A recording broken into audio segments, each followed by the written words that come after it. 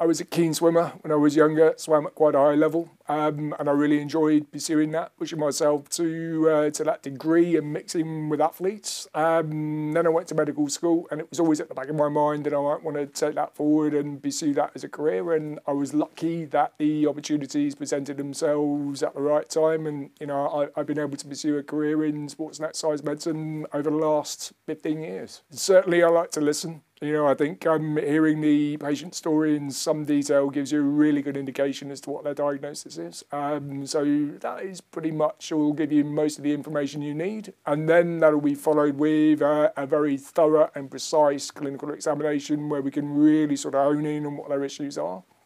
Then at that point, we might talk about some diagnostic investigations uh, that may be required, CT, MRI.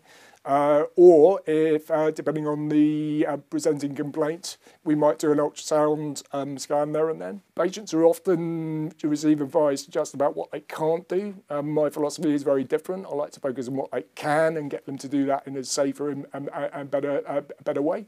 And you know that's very rewarding for me, and you know, it's very rewarding for the patient when they have that real change of philosophy. So there's a real um, myth which we need to dispel, which is to see a sports exercise medicine doctor, you need to be an athlete. That's not the case. Um, of course, we're very happy to see you if you are an athlete, and there's a lot we, that we can do to support them.